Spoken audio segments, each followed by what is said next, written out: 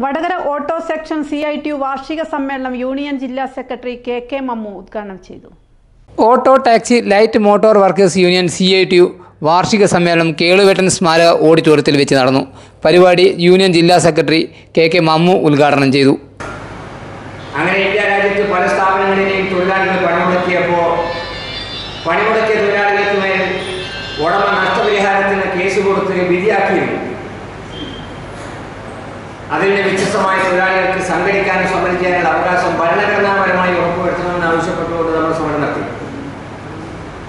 നമുക്ക് ട്രേഡ് നിയമം രൂപം കൊണ്ടുവന്നു തൊള്ളായിരത്തി എഴുപത്തി ആറ് അതിനുശേഷമാണ് തൊള്ളായിരത്തി മുപ്പത്തി ആറിൽ പേയ്മെന്റ് ഓഫ് വേജസ് ആക്ട് വരുന്നത്. കൂലി കൊടുക്കൽ നിയമം. നമ്മൾ ചിന്തിക്കും കൂലി കൊടുക്കുന്നതിന് എന്തിനാണ് നിയമം? ആ കാലത്ത് കൂലി കൊടുക്കുക എന്ന് പറഞ്ഞാൽ കഴിഞ്ഞാൽ ഉടമക്ക് തോന്നുന്ന സമയത്താണ് കൊടുക്കുക. കൂലി എങ്ങനെ കൊടുക്കുന്നുള്ളത് മാത്രമല്ല തൊഴിലാളിയുടെ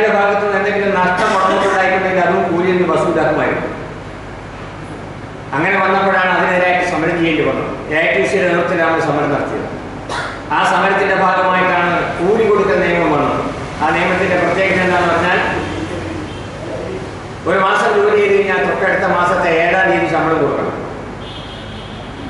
കൂലിയിൽ നിന്ന് എന്തെല്ലാം ഡിഡക്റ്റ് ചെയ്യാം കുറക്കാം ഉടമക്ക് അത് അതിനകത്ത് വ്യക്തമാക്കിയിട്ടുണ്ട് തൊഴിലാളി പണിയെടുത്തിട്ട് ഉടമക്ക് എന്തെങ്കിലും നഷ്ടം വന്നു കഴിഞ്ഞാൽ അത് കൂലിയിൽ നിന്ന് ഡിഡക്റ്റ് ചെയ്യാൻ പറ്റില്ല ഇതായിരുന്നു കൂലി കൊടുക്കാൻ നിയമം ഇതൊന്നും നമുക്ക് ബാധകമല്ലെങ്കിൽ ഞാൻ പറഞ്ഞു പോവുകയാണ്.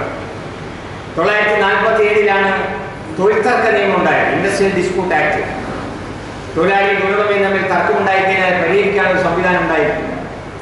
അത് പരിഹരിക്കുന്നതിന് വേണ്ടിയിട്ടുള്ള ഒരു നിയമമുണ്ടായി. ആ നിയമത്തിന്റെ അടിസ്ഥാനത്തിൽ ഒരു ഓഫീസ് വന്നു. ലാബ് ഓഫീസർമാർ അതിന്റെ അടിസ്ഥാനത്തിൽ വന്നു. എം പ്രദീപന്റെ അധ്യക്ഷതയിൽ നടന്ന ചടങ്ങിൽ V K Vinu Venu Kakkattil V Rameshan K V Raghavan M K Prasannakumar Ashokan തുടങ്ങിയവർ സംസാരിച്ചു.